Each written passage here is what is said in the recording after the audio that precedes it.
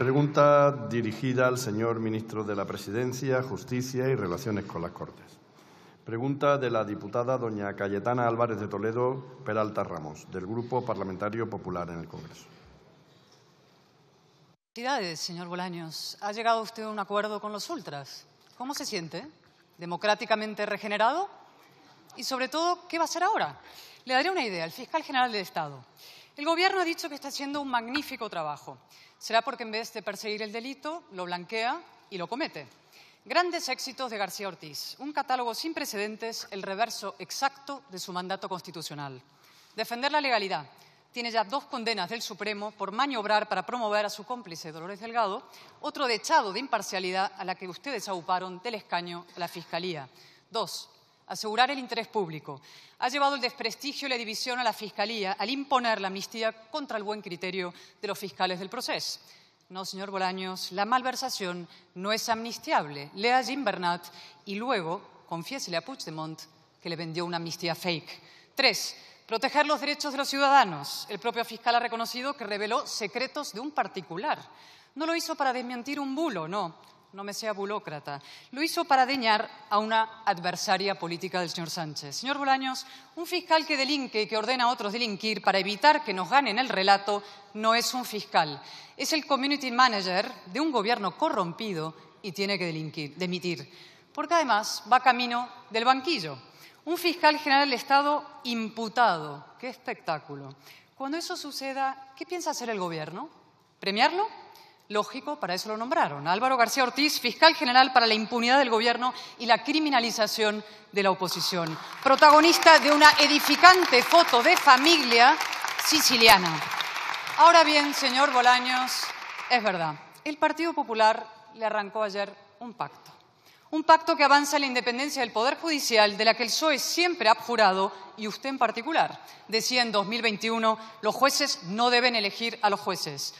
Como prueba de su compromiso con ese pacto y en aras de la pura razón democrática, haga usted ahora dos cosas. Diga, sí, efectivamente, señorías, querido Pachi, los jueces elegirán a los jueces. He cambiado de opinión.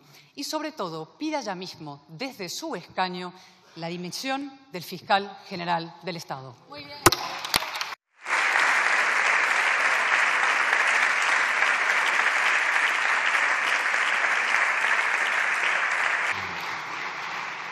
Tiene la palabra el señor ministro de Presidencia, Justicia y Relaciones con las Cortes. Gracias, señor vicepresidente. Ustedes dicen estar encantados con el pacto de ayer. Nosotros estamos felices, yo estoy feliz, está mal que yo lo diga, pero eso quiere decir que el acuerdo ha sido magnífico, extraordinario, fantástico para España, para la justicia, para la reputación de nuestro país. Y usted, y usted, señor Álvarez de Toledo, disimula. Lo que pasa que, claro, tantas sesiones de control a nuestras espaldas ya nos vamos conociendo. Ha disimulado en público y ha disimulado en privado.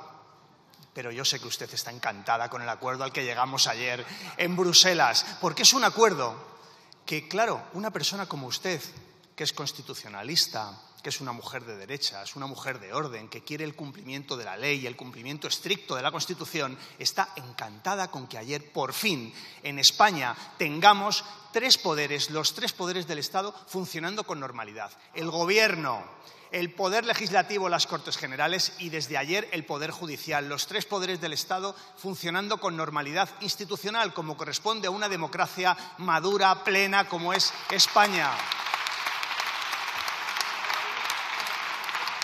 Y estoy convencido, señora Álvarez de Toledo, que hoy usted se arrepiente de aquel tuit que puso de nunca entregaremos el Consejo General del Poder Judicial. ¿Sabe por qué? Porque ni ustedes han entregado nada, ni nosotros hemos entregado nada. Hemos llegado a un gran acuerdo que va a ser magnífico para el desarrollo profesional de nuestra carrera judicial, para el Poder Judicial, para la reputación de nuestro país fuera de nuestras fronteras. En definitiva, para el Estado de Derecho y para la democracia en España. Gracias. Muchas gracias.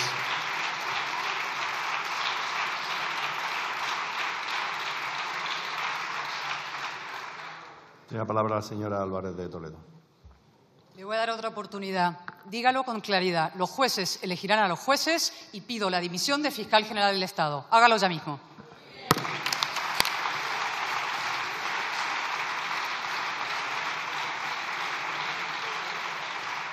Tiene la palabra el señor ministro de Presidencia, Justicia y Relaciones con las Cortes. Gracias, señor vicepresidente. Le recomiendo, si me permite, usted que es una persona leída, que se lea la disposición adicional de la proposición de ley que vamos a presentar su grupo y el mío, porque ahí está la respuesta a su pregunta. Ese es el pacto que hemos alcanzado. Veo que usted continúa con sus exageraciones, con sus delirios. Oiga, mire, ¿usted cree que han llegado a un acuerdo con una pandilla de autócratas, de dictadores, de biluetarras, de amigos de terroristas? ¿Usted cree que el Partido Popular haría tal cosa? ¿A que no? Bueno, pues mire, ayer fue un gran día para la democracia, un gran día para el Estado de Derecho, un gran día para el Poder Judicial, un gran día para España y un gran día para el partido.